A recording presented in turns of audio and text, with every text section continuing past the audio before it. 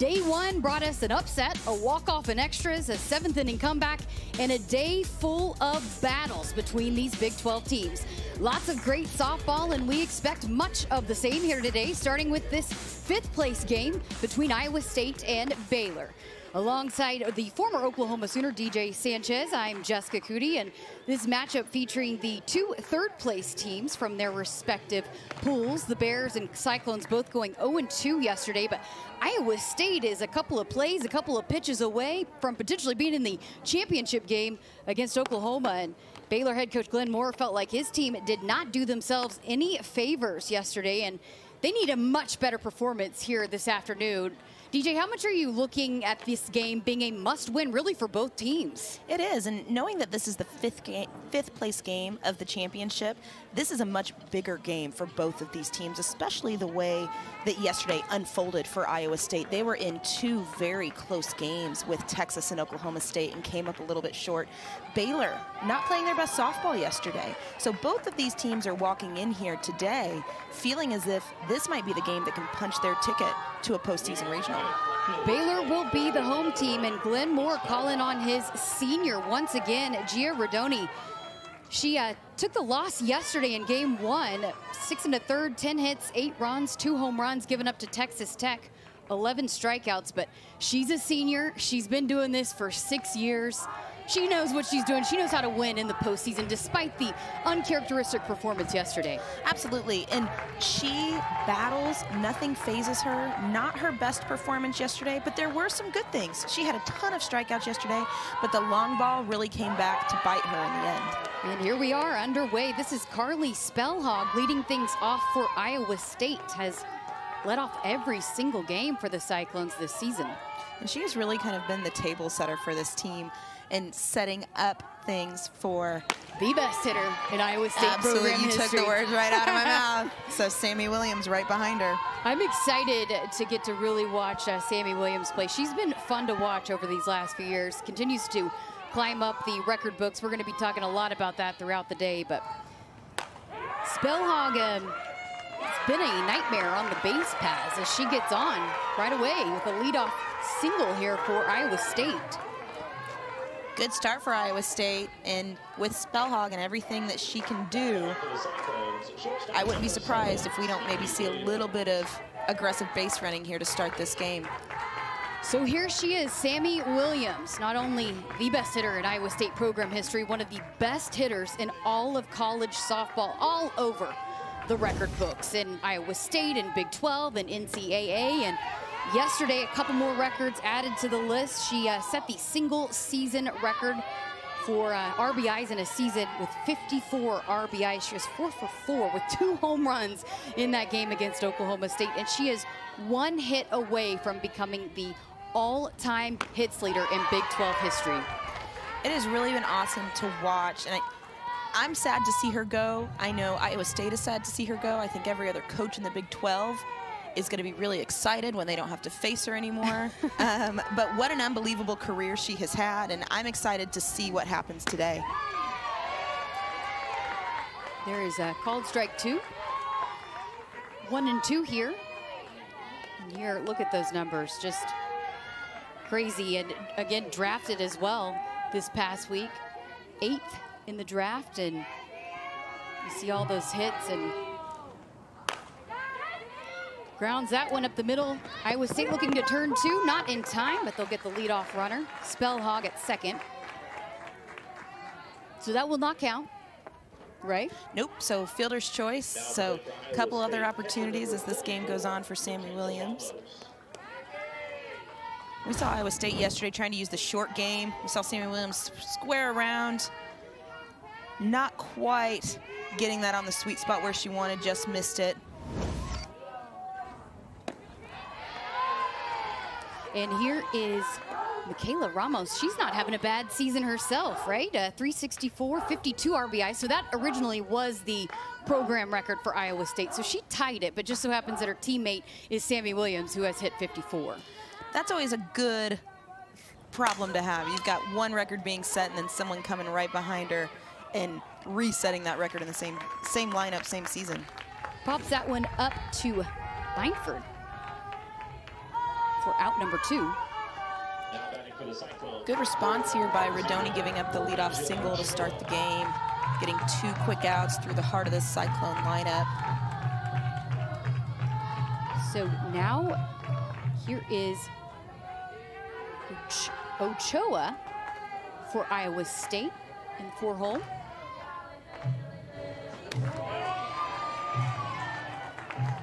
She was one for three in both games yesterday. Had some amazing uh, defensive plays, though. Yes, she did. Seeing that robbed home run that really kept Iowa State in a position to win a game against Oklahoma State yesterday evening. Freshman out of California. Jamie Pinkerton recruits a lot out there in California. He does, and you know, with what Coach Pinkerton has done here at Iowa State, in in really, truly, kind of a short amount of time. I mean, Iowa State reached their highest RPI ranking in program history this season, and you know, the recruiting, the culture that this team has. I think a lot of that can be attributed to Coach Pinkerton and kind of that family atmosphere and culture that he's brought to Ames. His fourth season. Turned things around in a hurry. First winning season since 1995, back in 2019. That one uh, fouled out of play. Two and two here with two outs for Ochoa.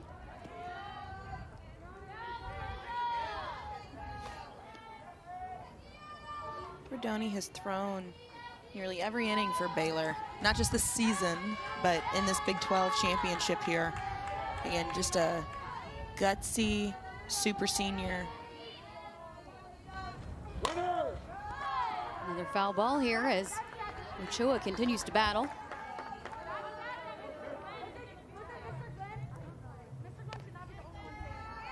This was a fun series between these two teams when they met earlier in Big 12 conference play. Baylor took the series 2-1, but it was Sammy Williams that gave Iowa State the win in game two with a walk-off home run, and Rodoni actually pitched the two games that Baylor won. And swing and a miss for, for Baylor will be Lou Gilbert, Emily Hott, second baseman Goose McGlaun, Leah Binford, Taylor Ellis, Josie Bauer, Zadie LaValle, and Sydney Cuyasos.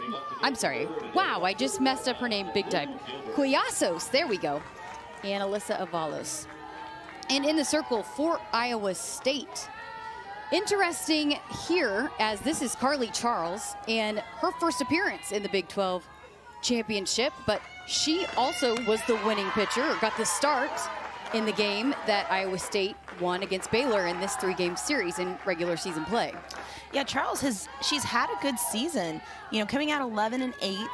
Um, I think the thing for Charles that has been a little bit of an Achilles heel is keeping the ball in the yard at times. She's given up 23 home runs this season, but she had a lot of success against Baylor earlier in the season in that conference matchup. So I like the nod, giving the nod to Charles and saying, hey, do it again. Let's see if we can't pull this out like we did earlier in the season. Gilbert was actually moved into the leadoff spot right before this series against Iowa State. And boy, she has been hot in this leadoff spot. She has, and it has been something. Baylor has faced so much adversity this season between COVID and injuries and things that are just absolutely out of their control. There's been a lot of shakeup in this offensive lineup, and Lou Gilbert has really taken on that leadoff spot and has given some consistency to this Baylor lineup offensively. So she leads the team in batting average, the sophomore out of Kansas City, and uh, she's used to that. She set the uh, high school career single season batting average record, hitting 559 at Staley High School. Oh, wow. For her career. That's I'd say that's okay. That's pretty good, right? There's some people that can't hit 559 off a tee, I would assume. So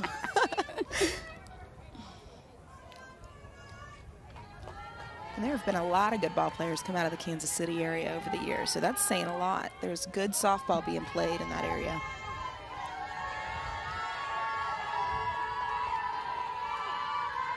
Three-two count here, and Gilbert with a leadoff walk for Baylor.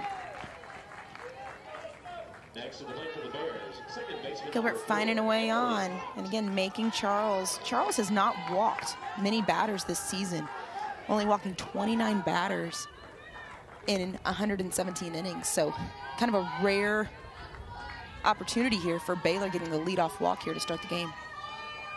Charles, 11 and 8, 26 appearances, 16 starts. And uh, her last appearance came against Kansas, the game three, when Iowa State was able to get the sweep over Kansas.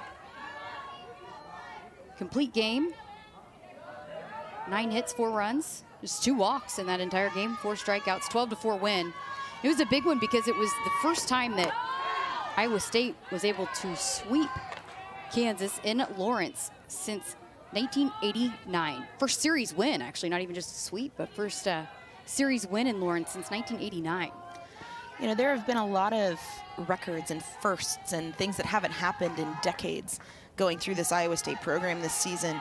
So, you know, I think any team in the Big 12, the weekend that Iowa State came up,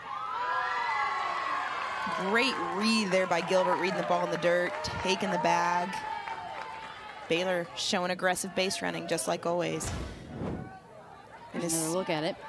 Immediately, the steal was on, but Gilbert, no way on the off-speed pitch once it got into the dirt.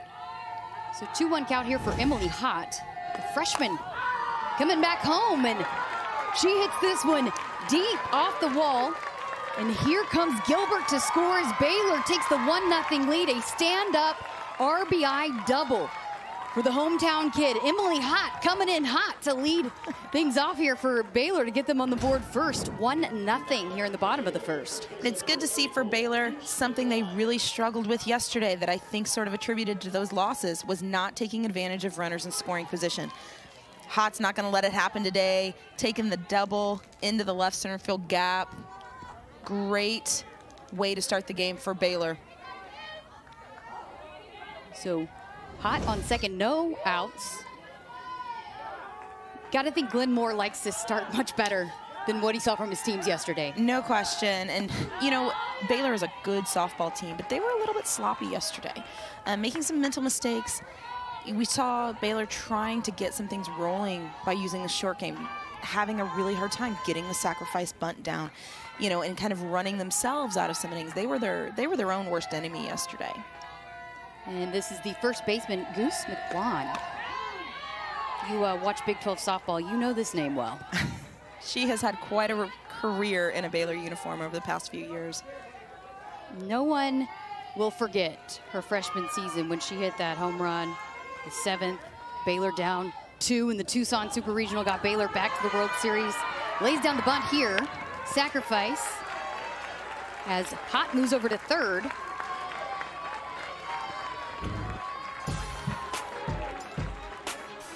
So here is a look at the Cyclones out in the field. Ramos behind the plate. Spelhaug over at first, Simpson at second. There's Williams at shortstop. We got Ramos, the sister, Skylar out in left. Gosey out in short, and Ochoa, we mentioned her plays over there in right field yesterday. And Shaban at third as well. They've had a kind of, they haven't mixed up their lineup much this season. Not defensively. Um, it has been something, you know, I think if it's not broke, don't fix it. You right. know, Iowa State's had a great season. And again, I think a lot of that is they've been able to be consistent in the lineup. So at the end of the day, every year is different. And, you know, there are a lot of talented young players sitting on that Iowa State bench right now. So I think the future is bright for Iowa State. This is Aaliyah Binford, freshman shortstop. 2 1 count here, one out. Hott over there on third. Wonder if she's got a lot of family in the stands, being from Edmond, Deer Creek High School. I would assume so. And she hit a home run yesterday that couldn't have landed too far from Deer Creek. so she has had a good Big 12 championship so far.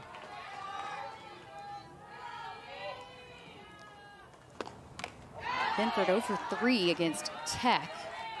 1 for 3 against OU, two strikeouts. Good opportunity here for Binford. Struggled a little bit yesterday with runners in scoring position And I love seeing the confidence that Coach Glenn Moore has. You take a hitter like Goose McGlaun and sacrifice her to give Binford the opportunity here. She's 28 RBIs on the season. Swing and a miss there. She'll sit down as out number two. It's Charles with her first strikeout. What a pitch here. Just taking the curveball and painting the outside corner. Here it. Welcome back to the Phillips 66 Big 12 Championship. How about a little defense from Sammy Williams, a shortstop? What a throw. What a play. Sammy Williams gets so much credit for what she does offensively, as she should. But man, what a tremendous shortstop as well, saving the run. What a great play in the 5-6 hole. She can do it all. Here is Kaylee Gosey for Iowa State, freshman. Another one of those out of California. 267 batting average.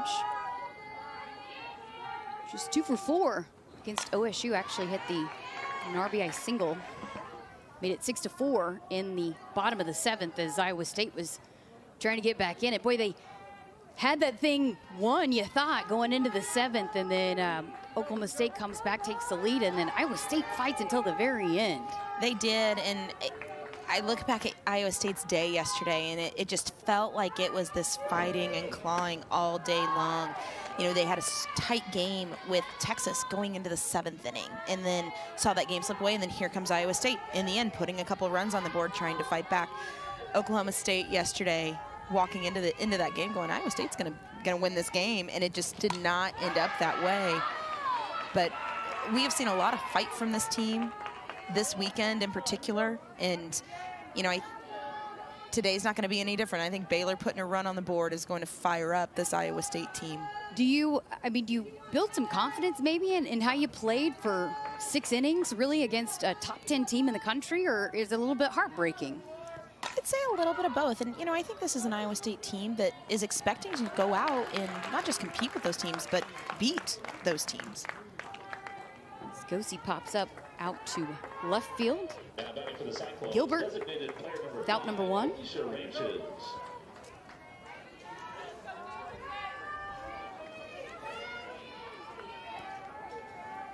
Here is Alicia Ranches.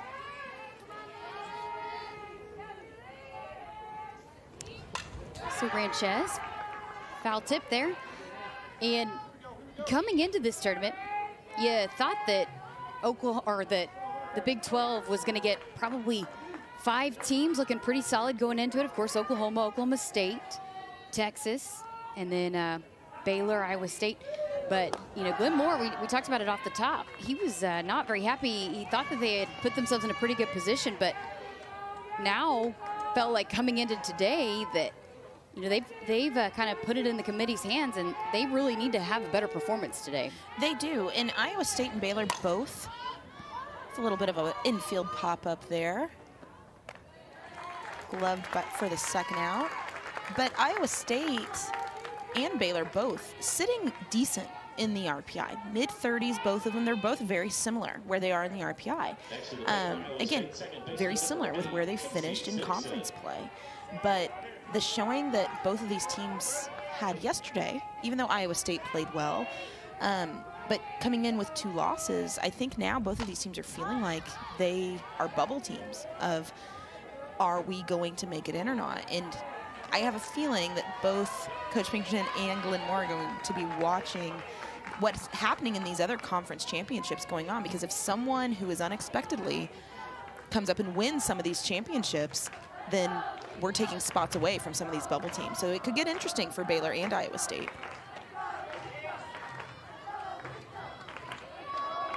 One-one count here for Casey Simpson, junior second baseman.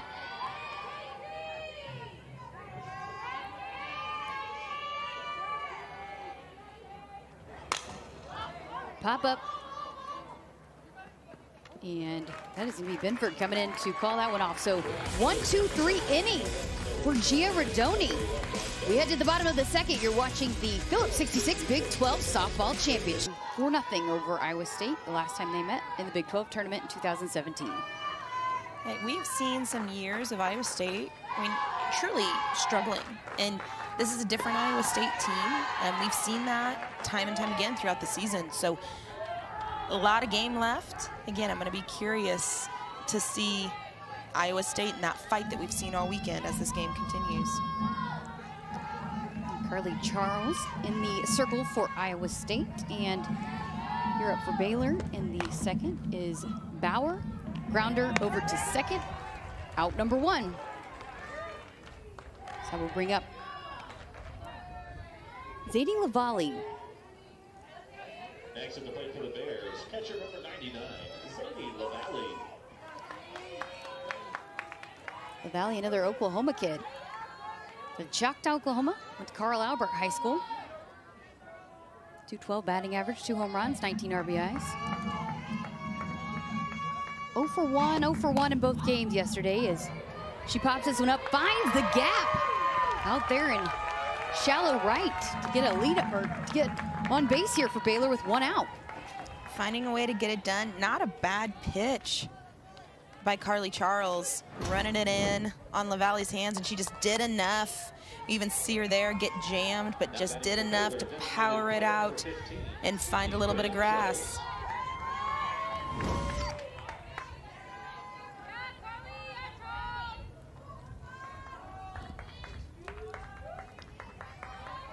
Sydney Cuyasos, true freshman, Georgetown, Texas grounder.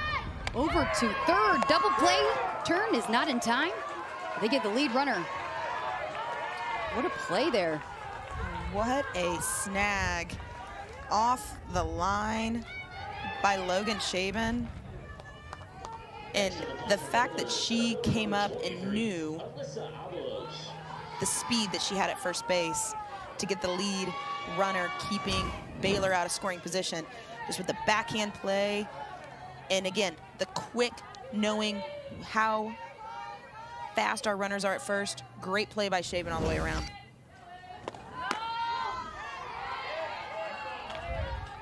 And this is the nine-hole hitter, Alyssa Avalos. She did not register an at-bat yesterday. 138 batting average. Pops this one up to Williams. And another quick one, two, three inning. We're moving right along here in this fifth place game between Iowa State and Baylor. 1 0 as we head to the third here at the Phillips 66 Big 12 Softball Championship. Baylor leading Iowa State 1 0 here at the Phillips 66 Big 12 Championship. And again, we'll talk about it at length here really all day, talking about as Selection Sunday comes up tomorrow. Here's a look at what the committee is going to be looking at. And we've talked a lot about RPI, but not quite as important this year as we've seen in years past. Yeah, and you know, I think the one thing for both of these teams that is sitting in the back of their mind is that key wins and losses and that end of season performance. Both Baylor and Iowa State yesterday had the opportunity to take on top 10 teams. Both walked away with with losses in which they both could have a couple things fall their way, take advantage of a couple couple opportunities, they get that win over Oklahoma State or Texas. Um, instead, both teams are walking in today 0-2. So talking about the importance of this game and walking away with a win could be the difference maker in whose name pops up in that selection show tomorrow. Logan Shaban to lead things off here for Iowa State, coming off quite the defensive play there. The bottom half of the second senior out of Portsmouth, Iowa.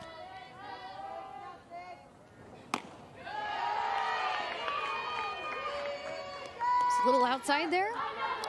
Just a bit, and Rodoni, she's looked good so far. Um, you know, kind of scattering that single to start the game, and then she has been lights out ever since.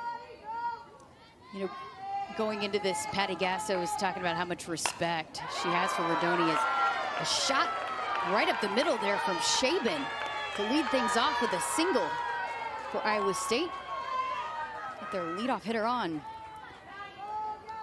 But just talking about the respect that Coach Gasso has for Rodoni. She's battled through so many injuries, but to continue to fight and come back and be someone that Glenn Moore can call on so often. Yeah, and you know, this has been such an interesting year for a lot of these players who a year ago their career as a senior was supposed to be over. And then you have someone like Rodoni. Iowa State lays down the sacrifice bunt. Shaban moves over to second. But a player like Go ahead, sorry. a player like Rodoni who who has really struggled with injury. Um, I mean, she just has she didn't have to come back to Baylor this year, you know, and we kind of see her here making this play, making it look easy on the sacrifice bunt. But she didn't have to come back, and she made the decision to do so, and she's really carried this Baylor pitching staff. Back to the top of the order and swinging at first pitch is Spelhaug. It is Gilbert that comes in. Route number two. And here is Sammy Williams. Again, seems like every at-bat for her this season, this entire season, has been a potential record on the line. She's uh, continues to chase them. And they're going to walk her here. Good move. I think so. I don't blame him. Now, your job doesn't get much easier with Ramos on deck, but knowing what Sammy Williams has done in her all season and also the type of day she had yesterday, she's seen the ball well.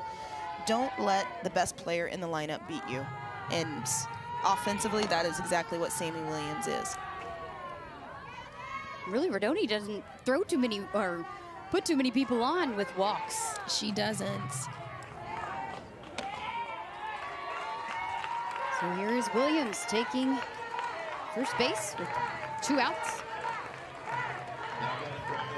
number 44, Matilda Ramos. The records will have to wait, says Baylor, until uh, her next at bat. So here's Michaela Ramo- Ramos, who um, also not an easy hitter to pitch to. No, Ramos has, has done a good job. I mean, she's she's second behind Sammy Williams with 52 RBIs. So, job doesn't get much easier. But again, don't let the best player beat you. Fouls this way. And look right there is the first baseman. McLean comes in to uh, makes the catch right at the fence. We couldn't see it from our view, but how about the defensive play once again for Baylor to get out of the inning? We head to the bottom of the third here at the Phillips 66 Big 12 Championships. Several years. It's a fun, fun event. It is. It's fun, and it's it gives you that first, you know, that first feeling and that first taste of postseason. You know, you have all those different segments of the year, and Big 12 Championship always is postseason is here. It's time, so it's always fun. Back to the top of the order for Baylor. It's Gilbert. She uh, led things off with a single, her first at bat. How much of an advantage is it for these teams? Of course, Oklahoma gets to the Women's College World Series year in and year out, but Oklahoma State made it last year, and you know you've had teams Baylor, of course, made it in 2018. How much of an advantage is it for these Big 12 teams to get experience on this field? Yeah, you know, for some teams, when they make it to the College World Series, it's their first experience ever even stepping in this complex. And, you know, for the Big 12, being able to host the championship here at the Hall of Fame, it, I mean, I think it does give an advantage. You've been here, you're not stepping on that field for the first time um, on national television for the Women's College World Series, so it kind of gives you, I've been here before, and gives a little bit more comfortability than maybe I think some of the other teams who don't have that opportunity. Full count here for Gilbert. The bottom of the third, Baylor leading Iowa State 1 0. Boy, these pitchers have really uh, settled in and been battling. They have, and you know, we've seen Baylor get in striking distance. Charles kind of work her way out of it after giving up the run. She's really settled down. And Rodoni, same thing. We've seen Iowa State get some runners in scoring position, and Rodoni just finding a way to work around it. So I think both teams have had their opportunities. Still a lot of game left, but these pitchers so far have kind of held their own. So I think we uh, had some spectacular defense in the uh, in the stands.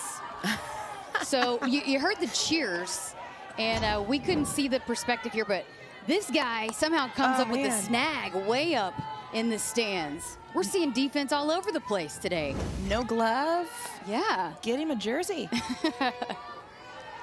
See, uh, Iowa State or it looked like he was wearing red. I don't know which team. I would assume that's Iowa State if he's at this field. Could be Oklahoma.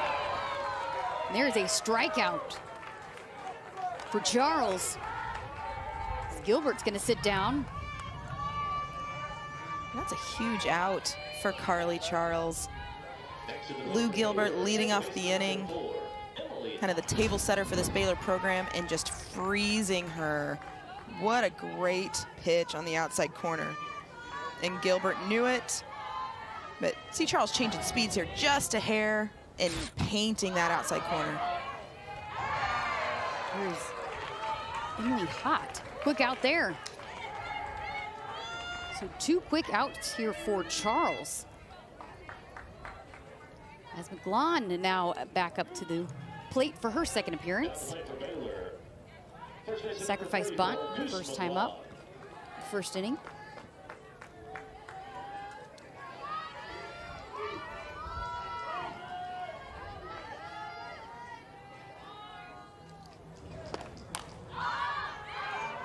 Pop-up just out of play. Baylor's coming out aggressive. You know, I think Charles obviously with the strikeout early, but coming out aggressive, swinging at first pitches. Nice hustle, young man there. Getting the ball back quickly. They used to hand out snow cones when you'd bring back a foul ball, so I don't know if that's still a thing. They gotta bring that back.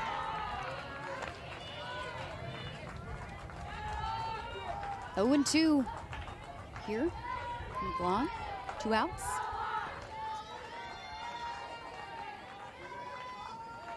Charles looking to make it another quick inning here. And Glon continues to battle, fouled out of play.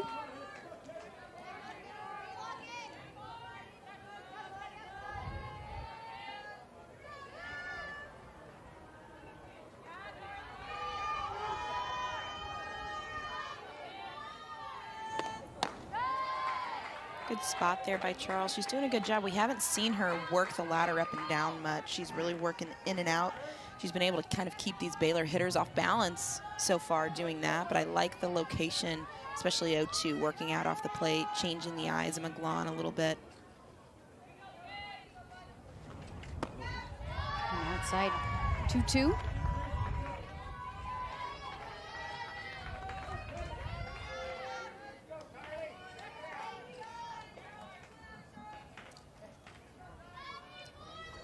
McGlaun. She goes by her nickname because um, the bedtime story her parents used to read her. That's a shot, but out of play. This story cracks me up every time I hear it. I mean, that, that nickname for all those years just sticking like it has. Fans love it. Down in Waco. She's sixth in program history with 34 career home runs. She's also moving up the uh, career record books. Hasn't hit ha as many home runs this season as uh, she did in freshman year, but she's really had a great career and you always think back to, and you already mentioned this earlier, Jessica, the the super regional in Tucson. Yeah. And, you know, as many wonderful things as she has done in her career since then, uh, there have been plenty of them. I think that, to me, and people who maybe don't watch every single Baylor game, is something that just absolutely stands out. You know, every sport, every program has those plays, those iconic plays that go down in history. Mm-hmm. And not many people can say that they have one of those, and she does. That will forever live in history, in Baylor softball history. Without a doubt, and just watching the celebration and seeing Baylor going back to the Women's College World Series in such dramatic fashion and being done by a freshman. It was so cool. I mean, you can't write it up better than that.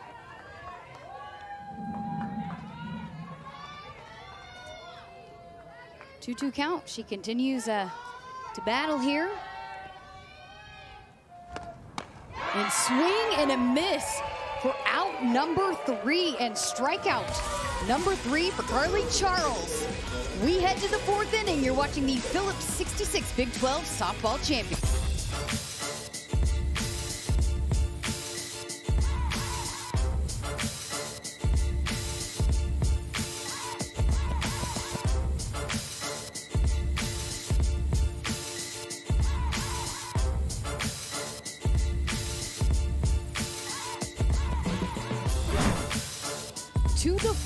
Go. It remains one nothing as we've got a bit of a pitcher's duel going in here, going on here in this uh, fifth place game between Iowa State and Baylor. And we talked about Gia Rodoni off the top about her uh, tough outing yesterday against Texas Tech. As a pitcher yourself, gotta love the way she has responded and bounced back today. And you gotta think she wanted the ball, right, to get a second chance at it. Absolutely, and that's just the type of player that Rodoni is. Again, not her best outings yesterday. Um, some good things, but coming into today, I mean, she has been solid, working out of jams and throwing good pitches. The thing that came back to bite her and has kind of been the Achilles for her this season is just missing pitches. We haven't seen that much from her today. Doing a good job of hitting spots. Right back to Rodoni goes Ochoa for out number one.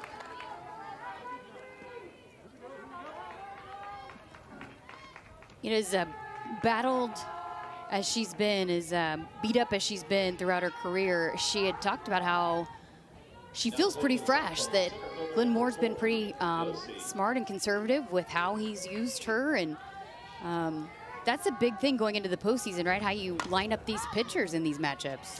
It is, and that's why, I mean, I think you see it back, I'm going to say back in the day, like it was a really long time ago, but a lot of, a lot of these teams, you always used to hear the, they have one pitcher who is their their ace, and that is who's throwing most of the innings. And you used to hear this, and I, I truly believe it's a myth. You know, pitchers, softball pitchers can throw a million innings because it's a natural motion. That's not really a, the case, and I think we've seen it as the game has evolved here, with these teams having staffs and if you watch the teams who go deep into postseason and make it to the Women's College World Series, those are teams that have pitching staffs. They aren't just relying on one arm.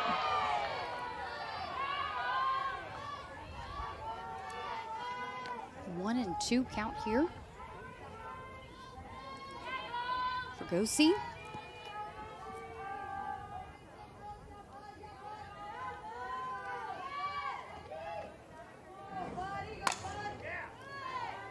And it pops up to the second baseman. Hot. Two quick outs. These pitchers are working it very quickly here today.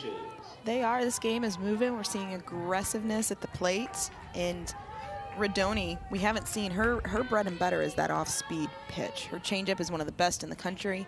And she's starting to kind of pull it out of her pocket now and keep these Iowa State hitters from being able to settle in on one speed as we see her throw the changeup there again.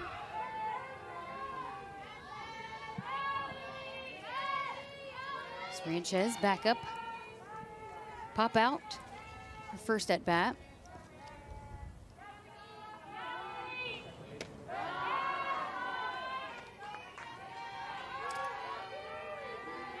You uh, like where the strike zone is for these umps this weekend? do pitchers ever like the I, strike I mean, zone? yeah, that was a really dumb question. I know, I'm kidding. No, I think it looks good. Um, you know, I have seen at times it get a little extended as games have gone on, but these umpires are doing a great job, consistent, and that's all you can ask for. If it's consistent one way or the other, then at least you know what you're looking for. So they've done a tremendous job so far. 2-1 count here to Ranchez shot out to, what a catch by the center fielder, Avalos. Getting the start today and coming up with a diving catch for out number three. And now we head to the bottom of the fourth. It is still 1-0 Baylor here at the Phillips 66 Big 12 Softball Championship.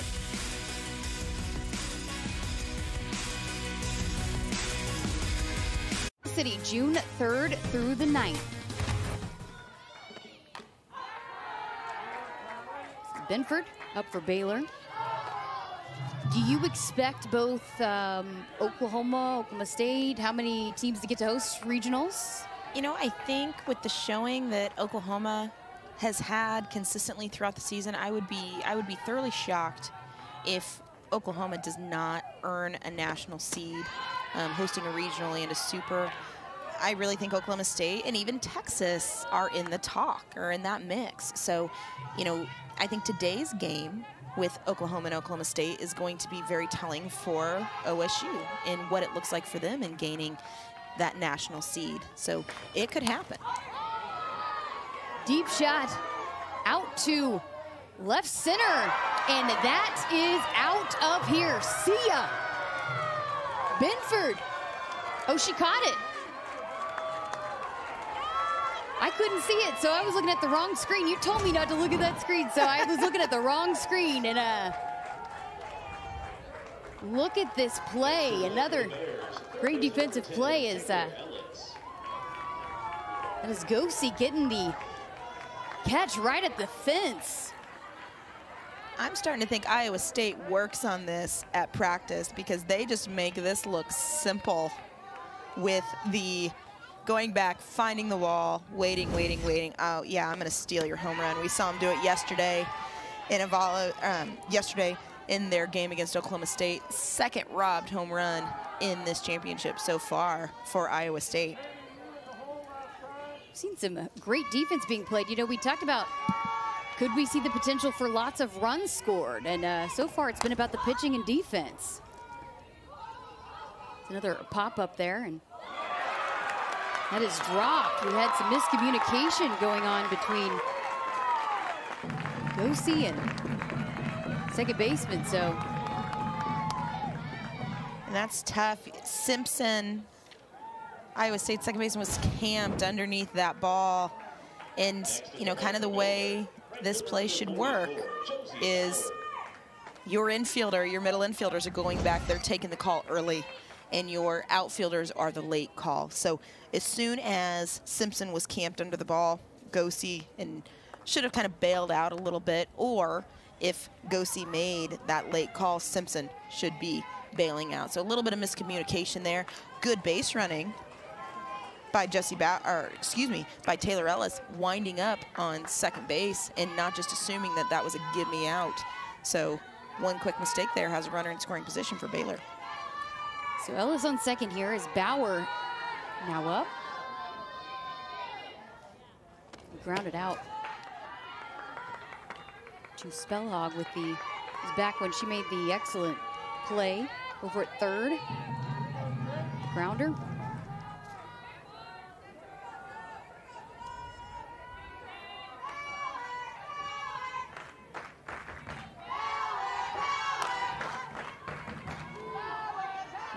Another pop-up.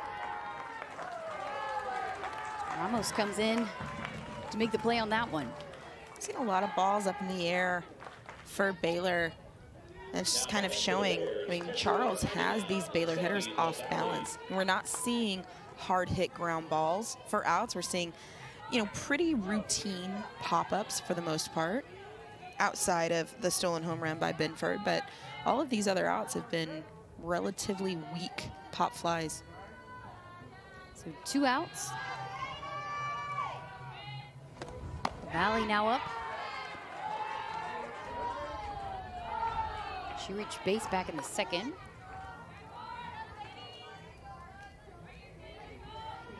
Big opportunity for Baylor. And again, I think this was something that was an issue for Baylor yesterday, taking advantage of mistakes and taking advantage of runners in scoring position. They left a ton of runners on base yesterday in both of their games. And a tight game like this, the game's starting to get a little bit deeper, getting a little bit later. So these opportunities are going to be what are this deciding factor and who comes out on top.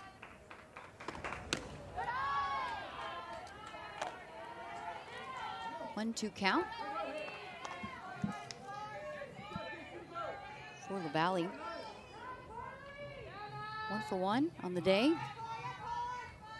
Two outs, Skin Ellis on second. And got her. Another strikeout for Carly Charles. Make it four. Have been dealing through four.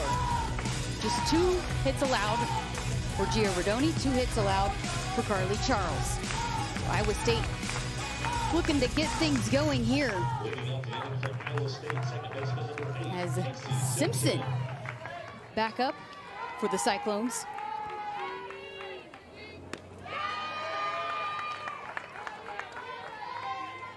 Casey Simpson with a pop up to short. 0 for 1 here today.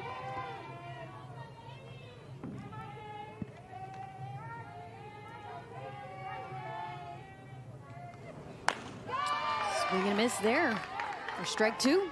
Rodoni looks good. Again, kind of getting, she's looked good all game, but you can see her even getting more comfortable opening up the count to Simpson with the changeup and then coming high and hard with the rise ball.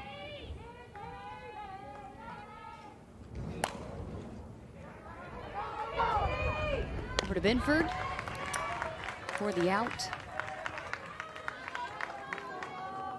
You know, Baylor defensively second in fielding percentage behind Oklahoma. Yeah, they've been really solid, and you know, I think that that has is attributed to some of their success um, throughout the season. And great job here as Binford just makes it look easy. She plays it right, doesn't try to go for the catch, and just plays the long hop. But you know, OU has one of the best defenses in the entire country, if not the best. So, you know, being right behind them, we've seen a lot of good defensive plays throughout both this championship. Teams, really. Yeah, from both teams. This has been a very well played defensive game.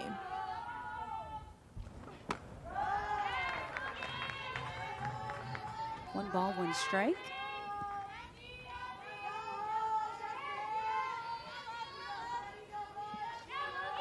Shaban back up.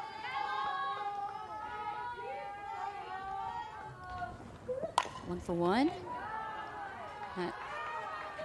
It's a grounder out of play.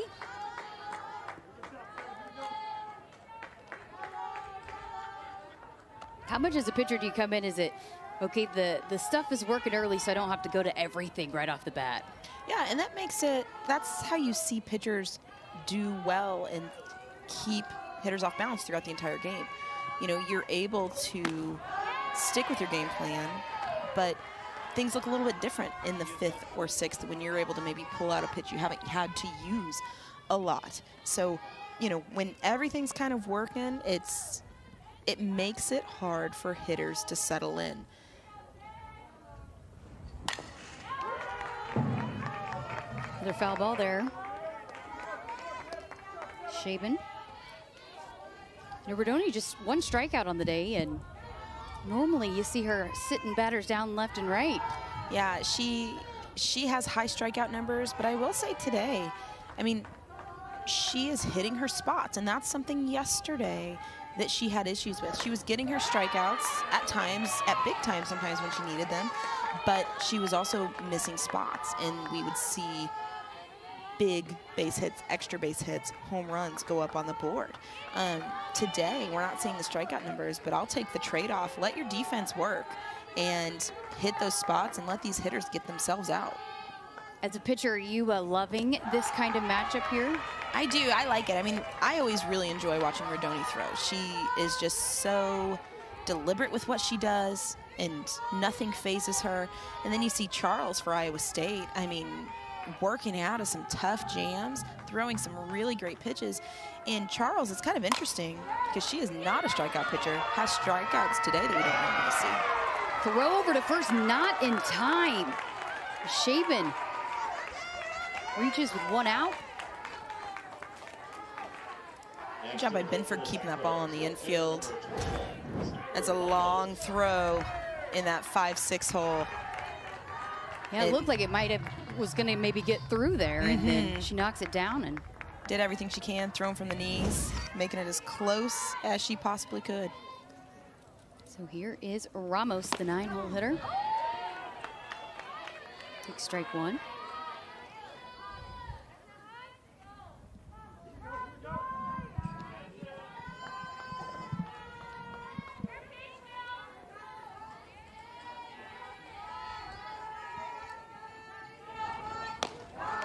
So if you're a hitter, how do you adjust to what these pitchers are doing? You know, I think if you're Iowa State, I mean, Rodoni, she really is starting to go to that rise ball. We're starting to see her work up in the zone. Um, if Iowa State can zone down, anything that is belt and above, you are saying we're going to take it, even if it doesn't break out of the zone, we're going to take it. And she hit her right in the elbow. I, I think the umpire called that a foul ball. Okay. Hit off the bottom of the bat. And I will say, if, if with Rodoni's velocity, if that hit Ramos in the elbow and she just kind of stood there, The tough cookie, right? uh, she is, Here's another look at it. yeah, I think it caught right there at Yeah, the knob of the right bat. at the bottom.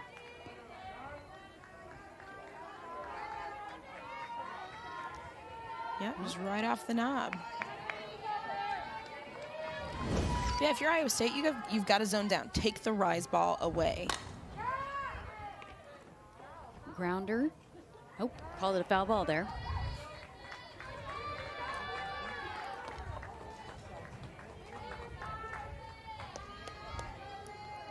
Now batting for Iowa They called her out there. Two outs. one, Carly Spelhaug. Huge out there by Rodoni getting Ramos as you're moving back into the top of this Iowa State lineup because the last person you're going to want to face with runners in scoring position is standing on deck. As Shaban moves over to second, we go back up to the top of the lineup. Carly Spelhaug.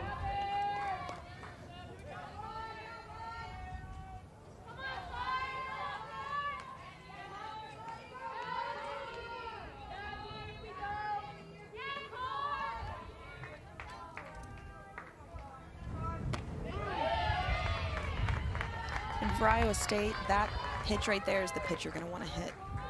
The fastball on the inner half in the zone. That's the pitch that Iowa State is going to have to start unloading on if they're going to want to put runs on this board. 0 2 here. Spelhaug. And as she is going to find some grass in center field, and Pinkerton going to send home Sha- Shaban, and the throw over to second, not in time. What a nice piece of hitting there from Spelhaug. The RBI double. Spelhaug coming up clutch. I will say, with the throw home, Shaban, this was, she was going to score. You could see it.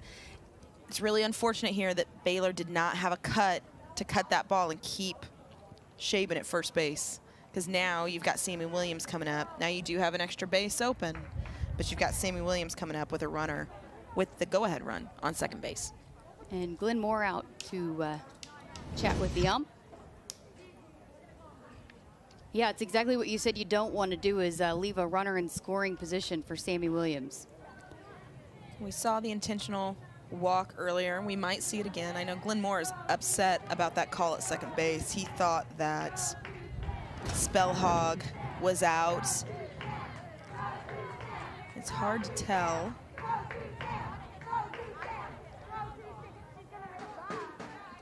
That our replay looks like she may have gotten her on the back. Well, we are all tied up at one. We've got a game here. It's Carly Spelhaug comes up big with two outs to tie this thing up at one. It's not very often you see Coach Glenn Moore get get fired up, and he's a little bit fired up about that call. I think some of that goes back to eh, he knows what's riding on this game today, and it very well could be a spot in the NCAA tournament. Here comes Sammy Williams. You mentioned it last time up. They intentionally walked her. And Jamie Pinkerton's having a conversation. State seven. So two outs, Spelhaug, and they are going to uh, walk her again. And you can tell there's some uh, Iowa State fans there that do not like that. They're they're not happy. I mean, you also think about too. Sammy Williams. This is she's one hit away from setting the Big 12 record. It'd be awesome to do it here in the Big 12 championship. But in the same token, Baylor, they've got to play the game. And, and I'll go back to it again. You can't let the best hitter in the lineup beat you. Make someone else do it. If that's what happens, it happens. But I understand the call. Unfortunate for Sammy Williams because she hasn't really gotten to swing the bat today. Well, look, she's fired up, trotting down to first base. Yep. So, you know, that's a team player there. She's uh, fire, firing up. Ramos here is uh, two runners on, two outs. And Ramos in this same situation earlier in the game. Came up a little bit short with the pop up to the first baseman.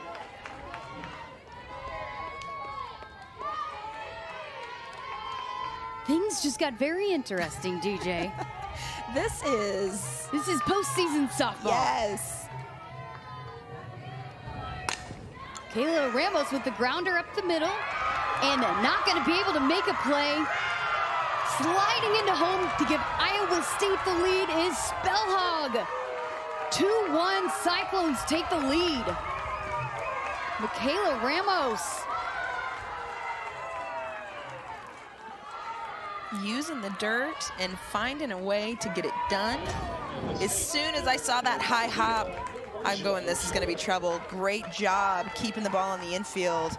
But again, heads up base running by Iowa State. You can see Coach Pinkerton sending Spelhaug the whole time. He's going, go, go, go, go. As soon as you see that And uh, that pitch, wild as uh, runner's going to advance to second and third. This is where Rodoni just needs to settle down. She's throwing a good game. Again, Iowa State's put two runs on the board here in the fifth, but two runs on the board. One of them just came from a ground ball. So getting back to what she's been doing all game. It is Ochoa back up for the Cyclones.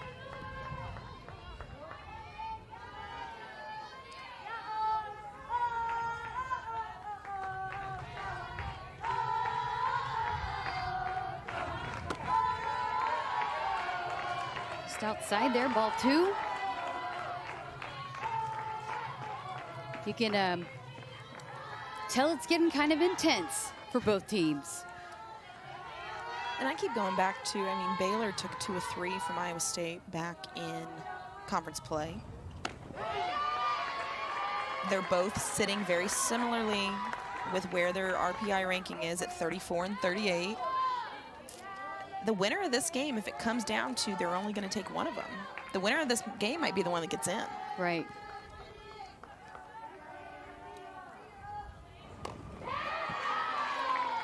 And a foul tip there.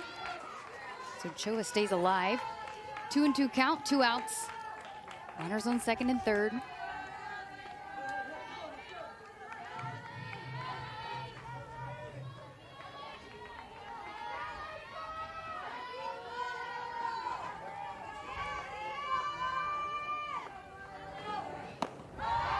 Outside full count.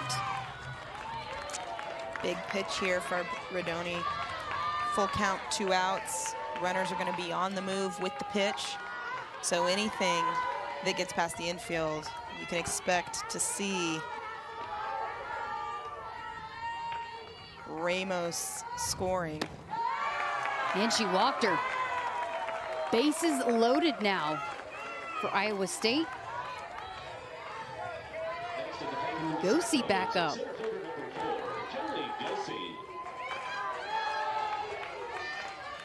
Kaylee Gosey, the freshman, in a big situation here.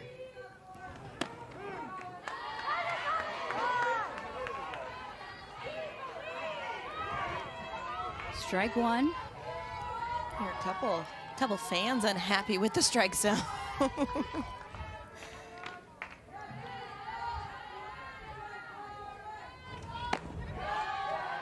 That looked like the same spot to me.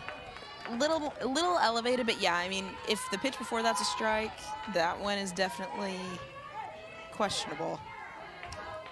We got the rally hats going still. I like it. It's been a two-out rally here for the Cyclones as they take in the lead. The ground ball to third. The defensive play to prevent Iowa State from putting any more on the board. That is another big defensive play for Baylor here, but Iowa State gonna get on the board thanks to Carly Spelhaug. 2-1 Cyclones taking the lead as we head to the bottom of the fifth. You're watching the Phillips 66 Big 12 Softball Championship here on ESPN Plus.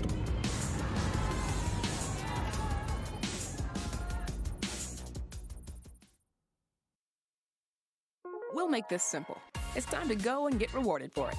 The My Phillips 66 app saves you up to 25 cents per gallon of gas. That's right, up to. And to the bottom of the fifth, as Iowa State put two runs on the board there in the top of the fifth. Baylor looking to respond here. Carly Charles has been pitching very well. Four strikeouts, just two hits for Baylor. And Charles has been very solid so far in this game. Gave up the run early, but she has been, we've kind of seen her settle down. And again, I kind of think the thing that is interesting is she hasn't struck out a ton of batters this season. And we've seen four strikeouts in this game.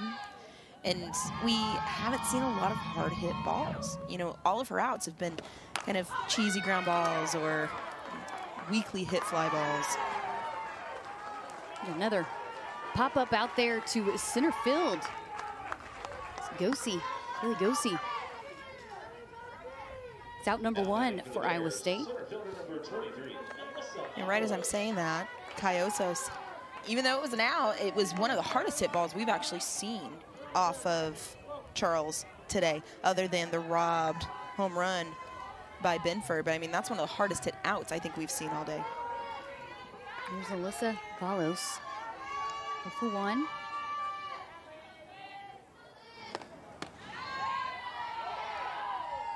Just outside for ball one. What's been working so well pitch-wise for um, Carly Charles here throughout this game?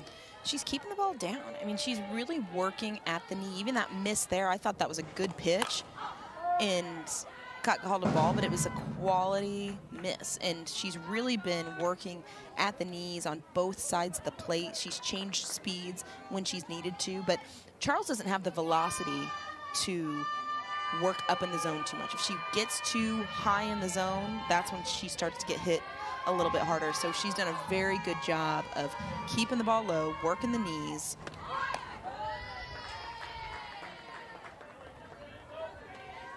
Two one count here.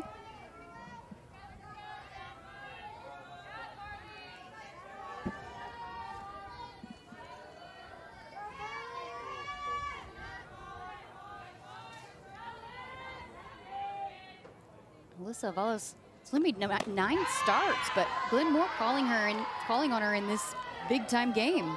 Yeah, and she's she stepped up. She made a big play in a big time situation out in center field earlier today. Um, you know, when you get this deep in the season and, you know, maybe you have people struggling at the plate, you start looking, okay, if I've got someone who's been starting in center field who's struggling a little bit, maybe I want to put my better defensive player out there. Pop up to Williams there for out number two. And back to the top of the lineup. Now batting for the Bears, left fielder number nine, Lou Gilbert. Lou Gilbert.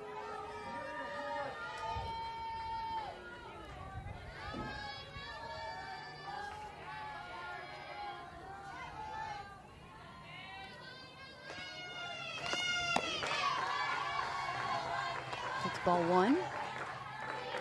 Gilbert, a strikeout victim back in the third. But has scored the only run of the game so far. So big out here for Carly Charles. And now outside again. 2 0 count here for Gilbert.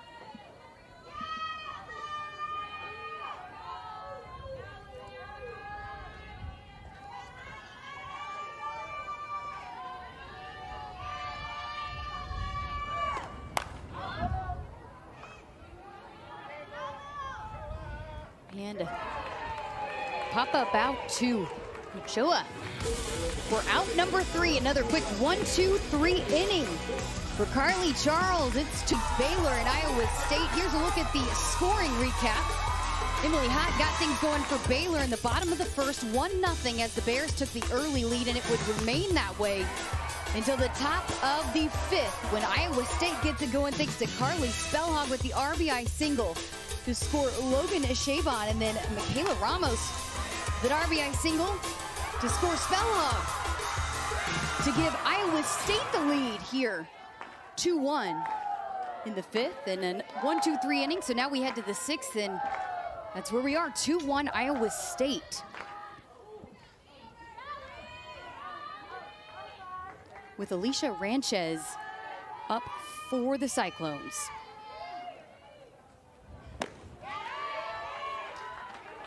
Big inning here for Baylor. Iowa State getting the two runs back in the fifth, then getting those three quick outs, putting Rodoni back out here pretty quickly. So this is a big inning. Keep this game in striking distance and give Baylor here a chance going into the bottom of the sixth. Swing and a miss, strike three for out number one. Rodoni sits down Ranches. Rodoni again bringing that changeup into the game here late, and it just falls off the table. Again, Rodoni has one of the best off-speed pitches in the country. And there's a great look at it right there. Here is a Casey Simpson. So it was strikeout number two for Rodoni.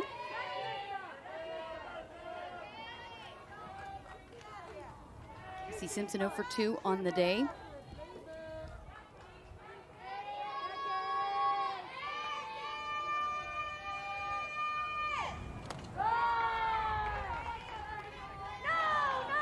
Ball one. You know, we've been talking a lot about the pitching that we've seen from Rodoni and Charles today, but talk about some great defense that we have seen from both of these teams that have really, you know, I walked into this game thinking we would see a higher scoring game. And we're 2-1, top of the sixth. And we've seen some tremendous defense that I think has kept this game low scoring today. Yeah, a lot of those um, balls that were hit for both these teams were hits or plays. And strike number three, throw to first. So back-to-back -back strikeouts here for Rodoni. Now batting for the Cyclones, third baseman number six. Same sort of setup again for Rodoni. Speeding up Simpson and then slowing her down with the changeup in the dirt. So back up to the plate here is Logan Shaban. Scored the game tying run there in the fifth inning.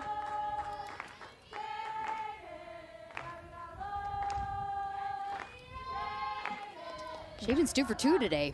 Yeah, I was just going to say, she has had a big day today so far.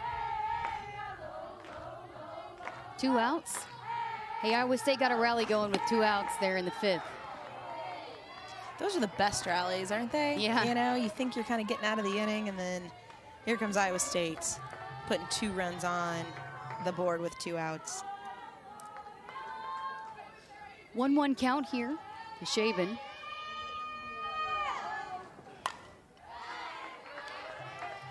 Pop up towards the backstop.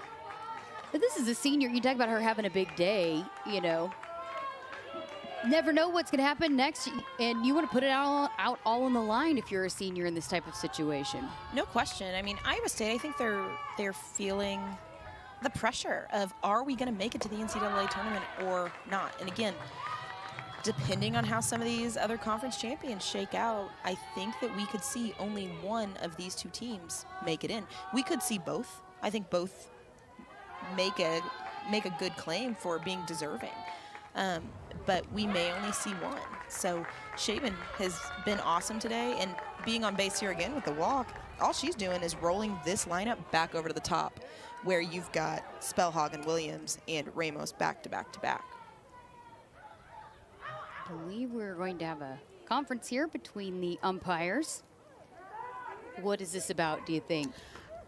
I'm going to be honest, I'm not completely sure. Um, we could have had a potential.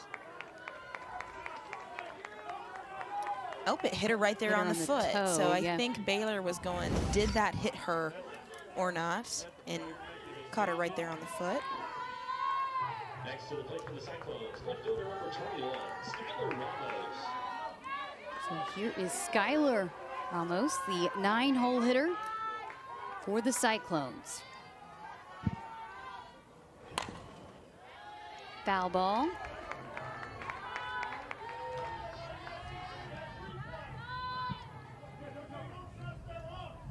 Oh for 1 here today. But you know, the good news for those Cyclone fans that were booing the intentional walks is uh, after this we go back to the top of the lineup. So we're going to get another chance to see Sammy Williams. Yep, and this could get interesting here with two outs. If we see Williams in this inning, they're not going to have a place to put her. And unless we see some extra base hits. So this could get interesting, or we're going to see Sammy Williams early early in the inning, and you're probably not going to see a walk. And a grounder to second for out number three.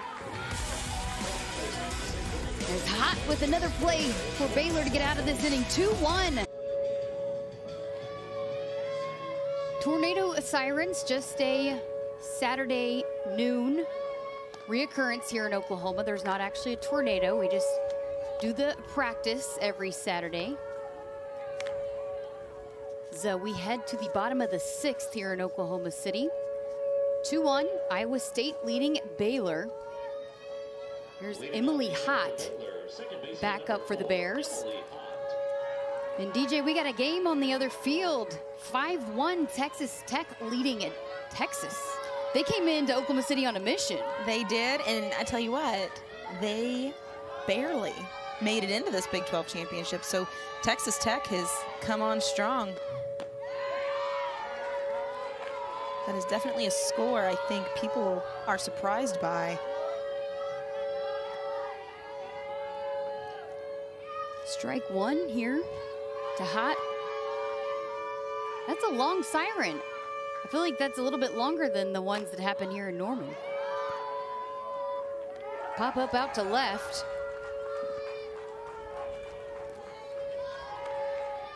Big out there for Charles. Because this is I'm going here in the sixth, going two, three, four through the heart of this Baylor lineup. This is a huge, huge, huge inning here for Iowa State and Carly Charles. That is a long siren. It's still right? going. Still going. It's always interesting to see non-Oklahomans at noon on a Saturday when those sirens go off looking around. Right. And you know, we and Charles did get the start in the game in the series that happened earlier in the um, regular season, but she just went four innings. So you know she's going a lot longer against these Baylor hitters than she did um, the first time she faced them. She's, she's kept him off balance. I mean, she has looked good, working quickly. And uh, again, short of the run that scored in the first inning, that run came, that run came from a leadoff walk. You know, you take that walk out of the mix, Baylor really hasn't done a lot to string some things together. Just two hits, four strikeouts.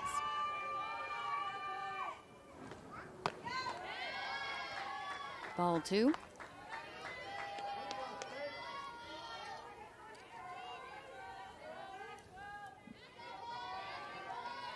Goose McGlaun for the Bears. 0 for 1 here today.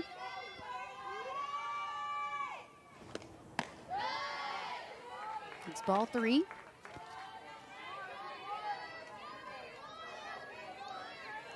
Big pitch here for Charles. A walk to McGlaun, one out with Binford behind, who who was inches away from hitting a home run in her last at bat. This is a big pitch. We don't want to give any free passes here. And full count there. She fouls it back, but this is a hitter that's capable of doing some damage with the bat. No question. And you know, you see that 3-1 count in a run one, one run ball game to Goose McGlaun. That's not a good feeling. you know, you're going, you better make a pitch. Same thing here. Charles needs to make a pitch here to Goose McGlaun.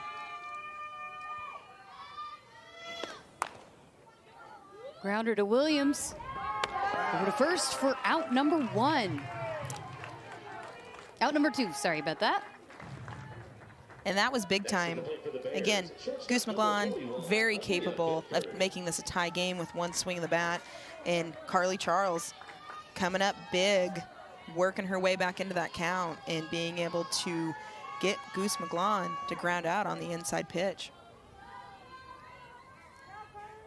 So back up for the Bears is Leah Binford, shortstop.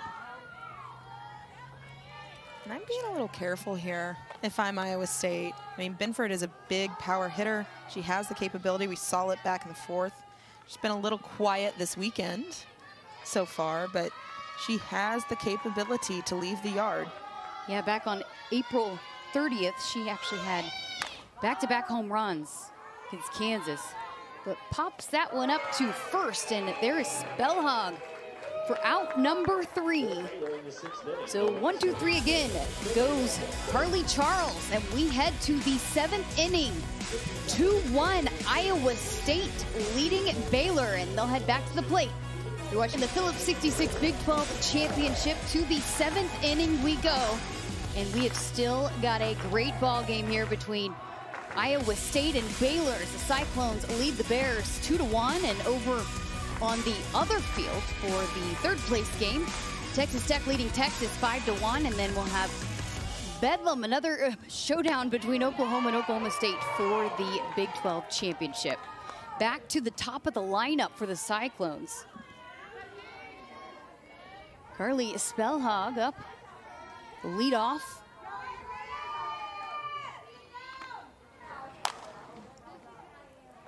Rips this one foul and out of play. Two quick strikes here. And Spelhaug had a huge RBI back in the fifth to tie this game up and then eventually came around to score the go-ahead run. So Spelhaug has been a little bit of a thorn in Baylor's side today.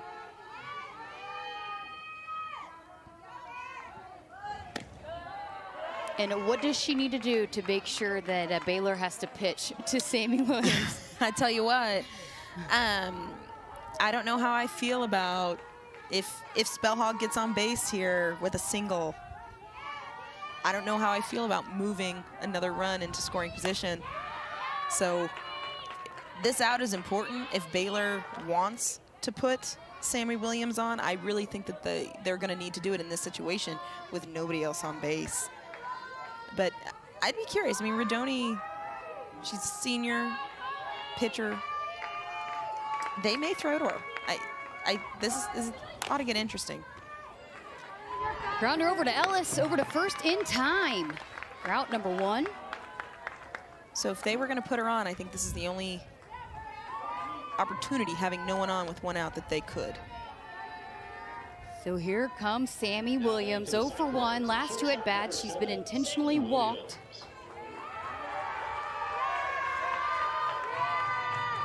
And they're going to throw to her. And you heard the cheers. Yep.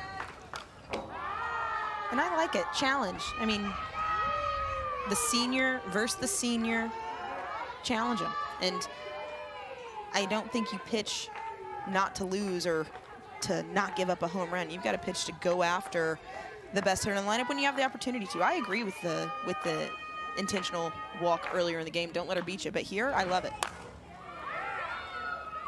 And drops down. And Pinkerton's waving her to second.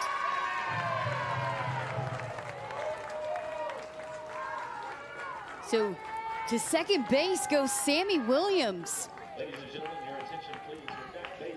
And there is a new name at the top of the Big 12 record books with this double here from Sammy Williams as she becomes the all-time hits leader for the Big 12 Conference. Drops right down out there in right field. Another double, but she's also the Big 12 leader in career doubles as well. What an amazing career for Sammy Williams. You gotta love breaking the record set by Norrelle Dickson.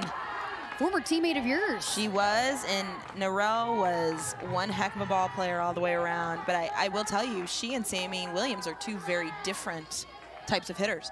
You know, Norrelle um, at the time was one of the fastest players, if not the fastest, in the country. She could do a little bit of it all. She could slap, she could hit for power, she could hit gap to gap, she could do a little bit of it all. And Sammy Williams, don't see a lot of that slapping coming from her. Great day, great way to finish out this Big 12 championship for Sammy Williams. And you think about some of the hitters that have come through the Big 12 conference, that's a record that has stood since 2007. It has, and I'll tell you what, the fact that it has stood this long with some of the players that have come through the Big 12 just shows you how massive of a number that is that was set up by Norrelle Dickson. And again, for Sammy Williams to break it here today is, is pretty impressive. 329 career hits move to the top of the Big 12 record books. Sammy Williams. Every game, another record shattered for Sammy Williams between Big 12 and Iowa State program records, and then NCAA. Her name is just all over the record books and all kinds of hitting statistics. As it should be, and you know, you talk to Coach Pinkerton about Sammy Williams, and you can talk all day long about what she has done offensively and what she has done just as a ball player for this program. But her leadership and everything that she has brought to this program to put Iowa State back in the position to be going to the NCAA tournament is going to stay on this program for a long time. And a shot from Ramos. Gonna roll out to the fence, and Pinkerton sending Williams home. And Iowa State adds another run on the board, 3-1, taking the lead. On an RBI double from Ramos that scores Williams. That is a huge run for Iowa State. And tell you what, when Rodoni has given up big hits, extra base hits, it has been pitches that have missed up in the zone. She has a tremendous rise ball, and we just saw this pitch not quite have that break. And Ramos with the pitch up and away, just going with it. She has had a huge day today. And of these three runs, two of them have come at the hands of Michaela Ramos. So two RBIs for Michaela Ramos. She now has 54 RBIs to tie Williams, who just broke that record, that single season record last night against Oklahoma State for the Iowa State single season record for RBIs in a season. How awesome is that? I mean, it's not very often that you have multiple players in the same lineup who are just breaking school records like that. And, you know, it's going to be interesting, too, as the season hopefully goes on for Iowa State. What is Who's actually going to be the RBI leader? Is it going to be Sammy Williams or Michaela Ramos? So 3-1 lead here for Iowa State.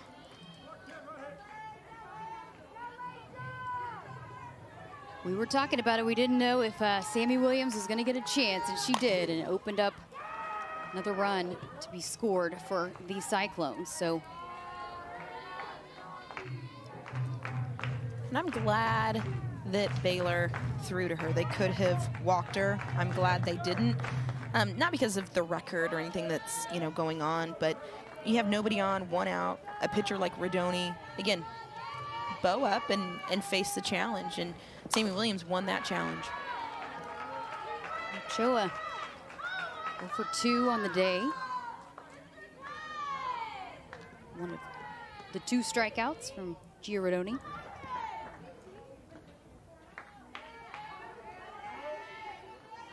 Three strikeouts.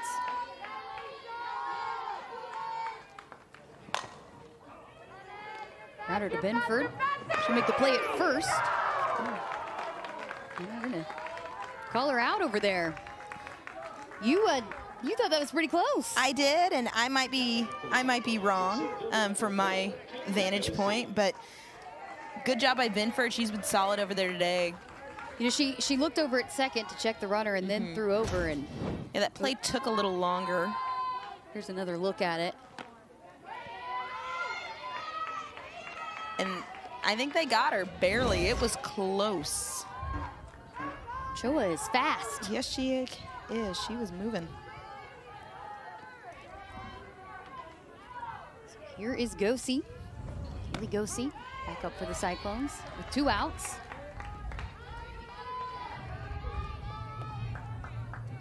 Go for three here today.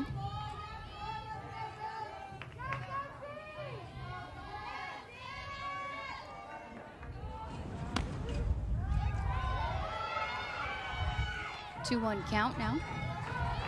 Rodoni wanted that call. That's a good spot on the outside corner. We haven't seen that call much today for either side. It's it's been pretty consistent that it's that it's a ball.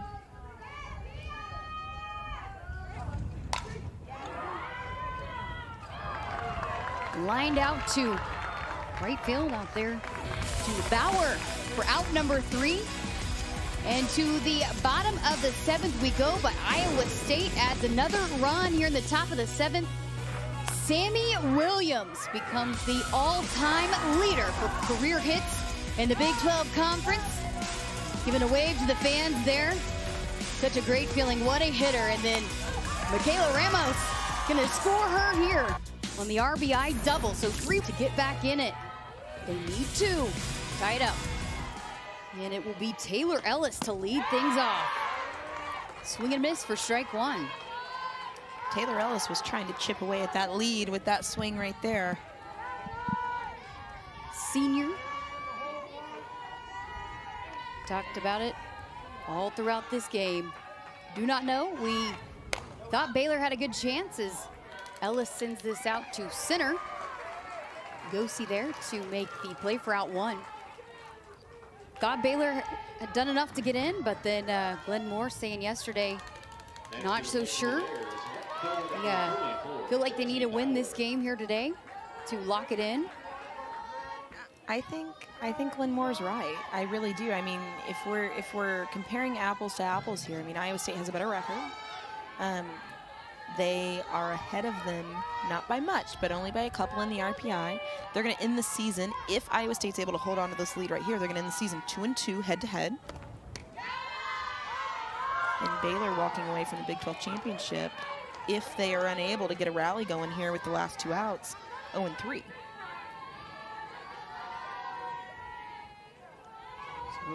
1-0 count. Here to Bauer.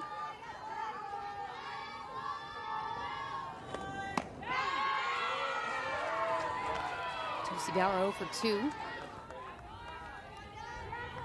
Ground out and fly out.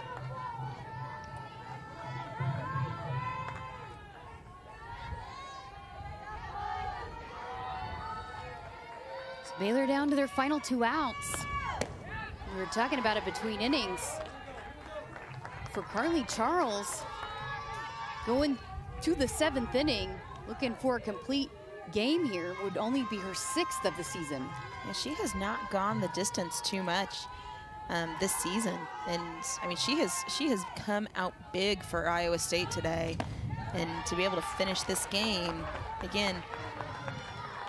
I'm not counting Baylor out by any means. They have come back strong in the seventh inning, even so far in this championship, and has just come up have come up a little bit short. So Carly Charles has been big time so far in this game. Runner to Williams. Over to Spelhaug for out number two. So Baylor down to their final out. And it will be down to Zadie LaValle. Now batting for Baylor, catcher number 99, Zadie LaValle. Freshman catcher from Oklahoma, our home state. Right up the road from this stadium. Hit it Carl Albert. Huge, huge, huge at bat for LaValle to try to keep this game going. And she will not. How fitting is that? Line drive to Sammy Williams at shortstop to end this game 3-1 as Iowa State will claim fifth place in the Big 12 Phillips 66 Softball Championship. And a huge win. You talked about the pressure for Iowa State to bounce back after a heartbreaking loss to Oklahoma State last night and come back and win this game. How big is this? This is huge, and I, I really truly believe that this just solidified Iowa State's place in the NCAA tournament. And everyone will find out tomorrow, but Iowa State, they walked away yesterday with two losses. But they played two very hard-fought games, got rewarded for it here today against a good Baylor team. And, I mean, they were pretty dominant on all sides of the ball today. So, a lot of times in these games, Iowa State, the player of the game will always be Sammy Williams, right? Best hitter in Iowa State history. Not today. We're giving it to the pitcher, DJ. How about Carly Charles? Goes the distance, seven innings, just two hits, gives up the first run in the first, but shuts Baylor down the rest of the way. She was huge, and you know, you talk about Carly Charles getting the nod here today, and she was absolutely lights out, giving up one run in the first, and she really settled down, and Baylor just couldn't figure her out today. She came up clutch for Iowa State. Carly Charles, the Phillips 66 player of the game. So Iowa State knocks off Baylor. Three to one. Go one and two after going 0 and 2 yesterday in some hard fought games. They bounce back in a big way to take it three to one over Baylor, heading into the postseason, getting some momentum, and Sammy Williams becomes the Big 12 record holder for career hits and three to one. Again, your final score for DJ Sanchez. I'm Jessica.